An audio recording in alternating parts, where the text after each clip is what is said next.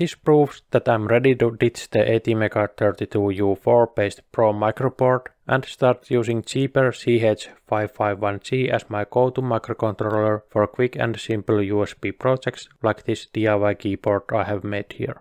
I have used both chips in previous project videos and just like those videos, this is sponsored by PCBWay.com as well. In my binary keyboard project I used Pro Micro to create this hacker's keyboard. As we can see in this PCB, the only components I used were the actual switches and the Pro Micro. That's how simple it is to use. There is something that is smaller, cheaper and almost as easy to use. That is the CH551G chip, which doesn't need many extra components either. This prototyping board, for example, includes everything that is needed to program and use CH551G as a USB device. And when I introduced this board, I said I used SDCC for writing the software. But after making that video, I have tried more familiar CH55Xduino, which is, to quote the GitHub page, Arduino-like programming API for CH55X a family of low-cost MCS51 USB microcontrollers. This allows us to program these cheap USB-enabled microcontrollers using Arduino IDE almost like any other popular microcontroller.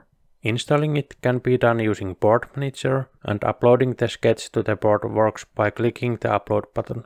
So far the steps are same as with many other non-AVR chips but because of the CH551G's architecture and available tools, these have to be programmed using C instead of C++ that Arduino usually uses.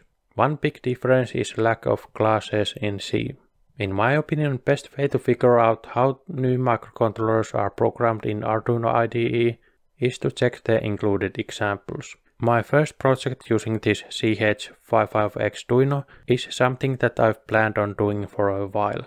This may be simple project, but something that I will use almost on daily basis. This is a seek and play pause keyboard for controlling YouTube's playback. Three buttons have one side connected to ground and other side of each button is connected to separate GPIO pin.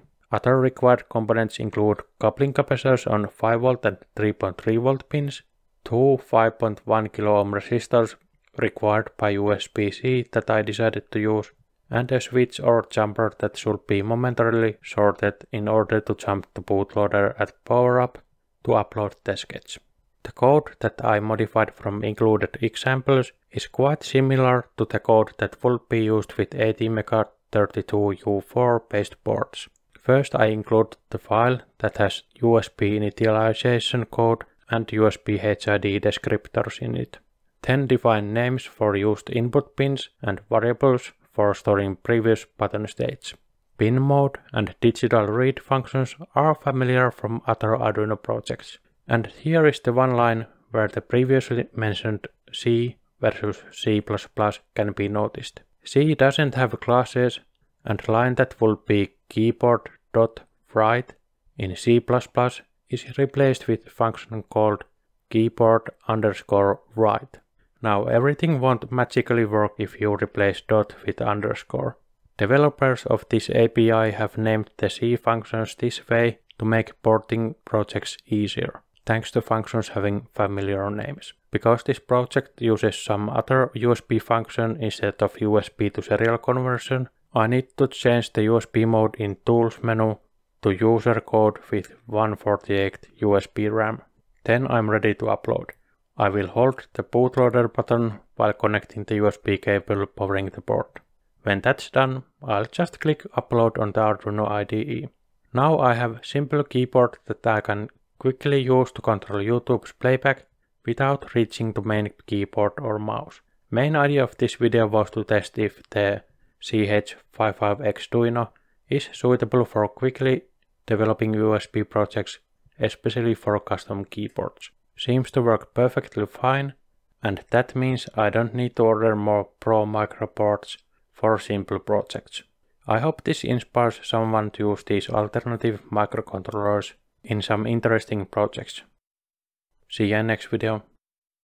Thanks. Bye.